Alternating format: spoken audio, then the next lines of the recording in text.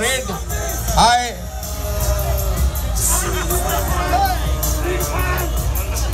इसको थोड़ी उतर जाएगी, थोड़ी देर शाम तक उतर जाएगी इसको। मैं समझ गया। ये ये जज्बात हिंदुस्तान में कम देखने को मिलते हैं।